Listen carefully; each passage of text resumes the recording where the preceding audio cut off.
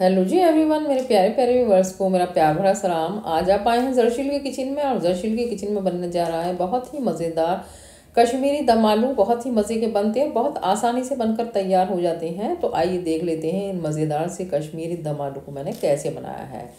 इन्हें बनाने के लिए मैंने एक कढ़ाई रख ली है और यहाँ डाल रहे हैं हाफ़ कप ऑयल अगर नापे तो 125 सौ है। गर्म हो गया ऑयल अब यहाँ पर मैंने 20 इक्कीस के करीब छोटे छोटे आलू लिए हैं। उन्हें छो, छील कर धोकर रख दिया था। अब हमें इसे जब तक फ्राई करना है, जब तक कि इन पर अच्छी सी गोल्डन कलर की कोटिंग नहीं आ जाती।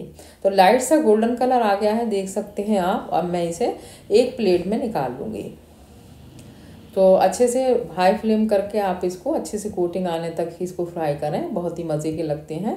तो देखिए, मैंने इसे निकाल लिया। अब उसी कढ़ाई में हमें डाल लेना है एक तेज़पात का पत्ता और एक छोटा चम्मच डालेंगे ज़ीरा।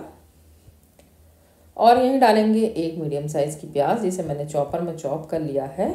अब इसे डाल देंगे और हाई फ्लेम पर इसे लगातार चलाते हुए हल्की सी गुलाबी होने तक हमें फ्राई कर ले, कर लेना है।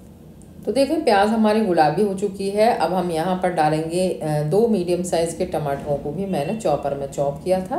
उन्हें डाल देंगे और इन्हें अच्छे से प्याज में मिला देंगे। अब हम यहाँ पर डाल देंगे एक छोटा चम्मच नमक ताकि ये जल्दी से सॉफ्ट हो जाए। तो हमें इसे चार से पाँच मिनट तक पकाना है या जब तक जब तक कि ये टमाटर सॉफ्ट नहीं हो जाते। तो टमाटर बिल्कुल सॉफ्ट हो गए, मैशी हो गए टमाटर बिल्कुल और अब हम यहाँ पर डालें कुछ मसाले। दो छोटे चम्मच डाल रहे हैं धनिया पाउडर, एक छोटा चम्मच कश्मीरी लाल मिर्च पाउडर, आधा छोटा चम्मच डालेंगे लाल मिर्च का पाउडर, एक चौथाई चम्मच डालेंगे हल्दी का पाउडर और एक छोटा चम्मच डालेंगे गरम मसाला पाउडर, एक छोटा चम्मच डाल रहे हैं चाट मसाला पाउडर। आप थोड़ा सा यहाँ पर पानी डाल देंगे ताकि हमारे मसाले जले नहीं और मीडियम फ्लेम पर हमें इन्हें अच्छे से मिला लेना है पहले और फिर हमें इसे पाँच से छः मिनट तक बढ़िया सा भून लेना है। तो देखें, मसालों से बहुत ही अच्छी सी खुशबू आने लगी है। तो अब हम यहाँ पर डालेंगे जो हमने आलूओं को फ्राई करके रखा था, वो डाल देंगे।